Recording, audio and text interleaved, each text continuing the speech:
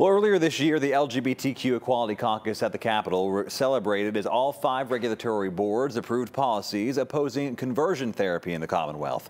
However, state legislators say there's still work to be done as the PA Fairness Act remains locked in the General Assembly with little time left on the clock.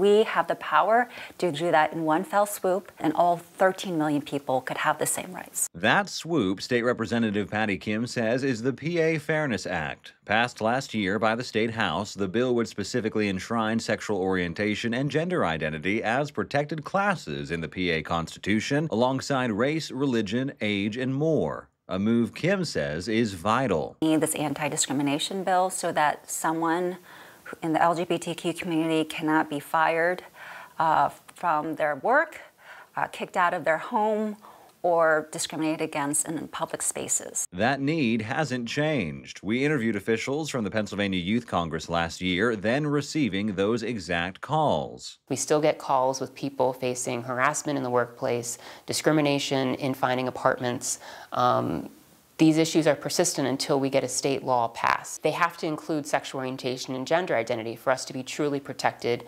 without question. And despite broad support, where is the bill now? Probably dying a slow death in the Senate to have it sitting and not giving folks the freedom to have those rights is, is maddening to me. Opponents say the bill would force religious institutions and healthcare providers into actions they're not comfortable with, something advocates say is misinterpreted. There's certain arguments being promoted in Harrisburg that non discrimination protections would force all physicians to provide gender confirmation procedures on minors, which just doesn't happen. The real conversation is can you go to a hospital and get health care?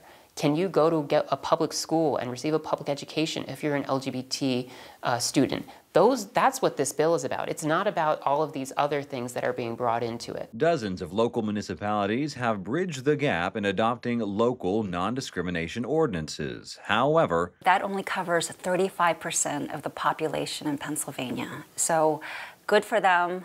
I'm thankful for them, but it has to be for everybody in Pennsylvania. While Pennsylvania currently interprets state law to protect sexual orientation, leaders say interpretations and law are not the same thing.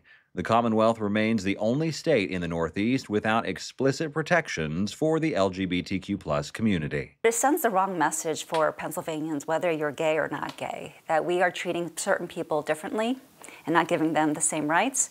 Why would you want to come to Pennsylvania?